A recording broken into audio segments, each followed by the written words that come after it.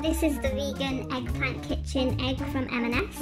It costs £6 and is from the brand's Made Without range, meaning it's made with no eggs or dairy. The chocolate itself is made from a simple list of five ingredients and as you can see, does indeed look a bit like an aubergine. As for the taste, yeah, it's good quality chocolate.